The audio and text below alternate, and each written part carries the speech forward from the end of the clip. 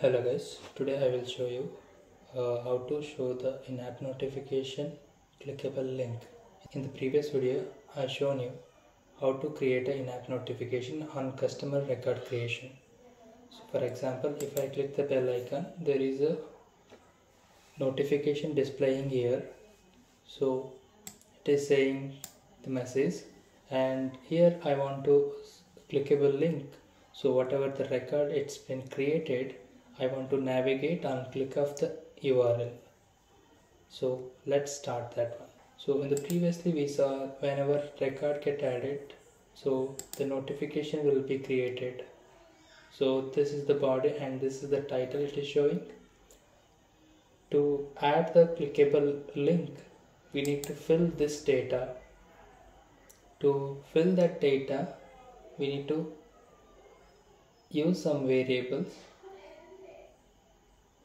so in this one we need to provide the link of the particular records that's been created. So if you see here I have initialized one variable notification URL with the string type. This is the concatenation I am written in the expression.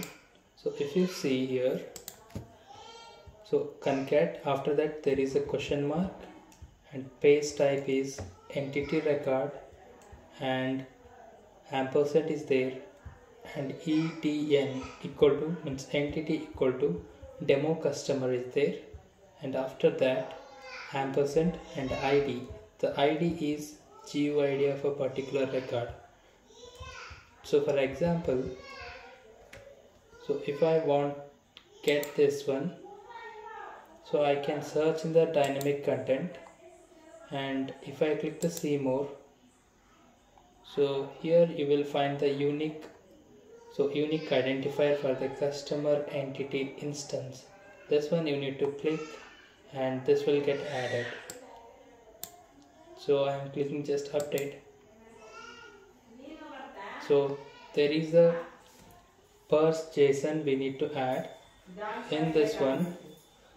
So so I will put this one in the description. You can use the format. And so this is the content you need to provide. So notification is coming.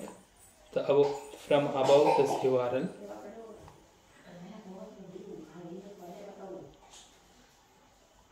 so after that in the notification so in the data you need to provide the link.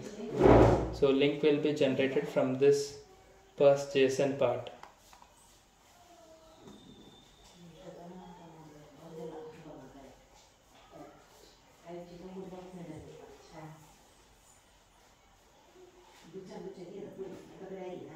so let's save this one and test it. So in the app I am creating a new record for the customer table. So I have provided some value. Let's save this one. I'm clicking on the save and close. So there is a record. C-1001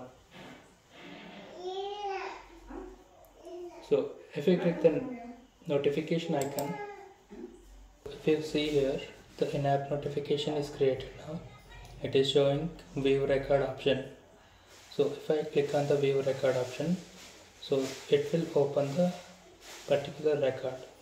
So C zero is created now. Just I am clicking on the view record. So it has opened the record which is now created. Thank you guys. Hope this help you